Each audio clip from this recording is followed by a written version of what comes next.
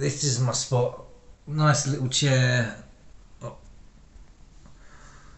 Room is really bare. Really, I've got a few kind of bits and bobs to get me through a few weeks, probably like toiletries and all that, and some cold drinks and.